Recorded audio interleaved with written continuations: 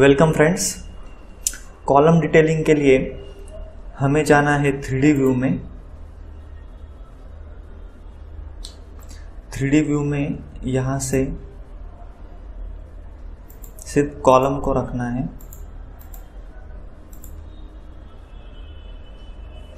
As per geometry हमें जाना है। अभी हम गए डिज़ाइन यहाँ पे हमें लॉन्जिट्यूडिनल रेनफोर्सिंग का ऑप्शन सिलेक्ट करना है। और देखो, अभी ये 14 1440 1440 1440 तो उसके लिए 1440 के लिए हमें 16 एम mm के आठ बार लेने पड़ेंगे, है ना? 16 एम mm के आठ बार लेने पड़ेंगे। या फिर हम ट्राई करेंगे 16 एम mm के छः बार, जिसका एरिया है 1205.76 और 12 एम mm के दो बार पकड़ के चले, समझो। तो उसका एरिया है 226.08 तो वो आता है 1431 आता है और हमें चाहिए 1440 चाहिए तो फिर वो सेटिस्फाई नहीं होता है वो। इसलिए हमें 16 एम mm के आठ बार ही लेने पड़ेंगे उस केस में। ठीक है? तो अभी कॉलम का डिटेलिंग है इस टेबल पे।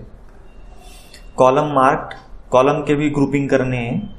Size of column B and D 300 by 600 main steel of column from footing level to first slab level, first slab level to third slab level, third slab level to fifth slab level, ऐसे जहाँ जहाँ तक वो common आते हैं, वहाँ वहाँ तक उनके ग्रुपिंग यहाँ पे भी करना है along the height along the floors उसके बाद लिंक्स लिंक्स आते हैं H by four up to H by four from beam column joint and middle part में.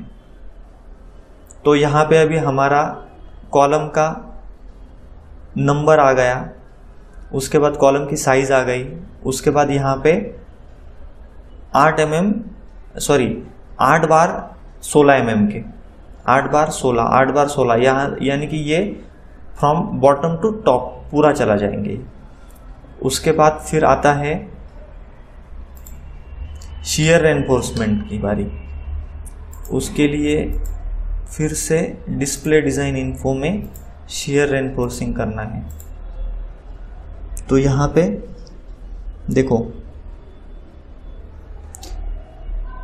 665 एंड 332 यानी कि ये जो है वो मिडल पार्ट वाले हैं और ये जो है वो टुवर्ड्स दी सपोर्ट है।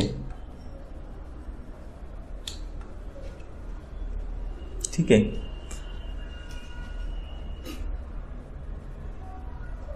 तो अगर अगर हमने समझो 665.06 किया 665.06 डिवाइडेड बाय 100.48 उसके लिए 6.61 यानी कि सेवन बार आ जाएँगे थाउज़ेंड डिवाइडेड बाय सेवन तो आ जाएँगे 142 पे। यानी कि सेम है, उसका भी जो क्राइटेरिया है, वो as per I S one three nine two zero ये eight M M dia hundred centre to centre minimum चाहिए। तो इसके हिसाब से शेयर एनफोर्समेंट देना है। और बॉटम में जो है, यानी कि मिडल पार्ट में मिडल पार्ट में जो कैलकुलेट किया हुआ आया जो है वो हमारा 142 यानी कि 140 यहाँ पे आ जाएगा। 8 M M one forty centre to centre यहाँ पे वो आ जाएगा। तो ऐसे इस तरह से देने हैं। अलोकेट रिबार एज पर डिटेलिंग तो यहाँ पे अगर देखा जाए तो देखो, यहाँ पे एक, दो, तीन, चार, पाँच छः सात, आठ। आठ बार जो है ट्वेंटी एम mm के, और उसके ऊपर में, ऊपर वाले फ्लोर में सिक्सटीन के आने वाले हैं आठ नंबर ऑफ़ बार्स ऐसा ही सी फोर का बारह बार्स आएँगे ट्वेंटी एम mm के। उसके ऊपर 10 बार आएँगे 20 एम mm के, उसके ऊपर 8 बार आएँगे 20 एम mm की। ये ऐसे देना है। ये स्टीरप्स के डिटेलिंग है यहाँ पे as per I S one three nine two zero यहाँ पे शेयर वॉल की डिटेलिंग है। रिंग कैसे आएँगे क्रॉस टाइज कैसे आएँगे?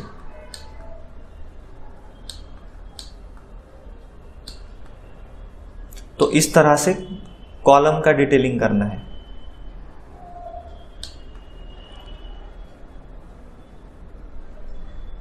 अब स्लैब का जो है, स्लैब का डिटेलिंग और डिज़ाइनिंग, वो मैं आपको नेक्स्ट वीडियो में सिखाता हूँ।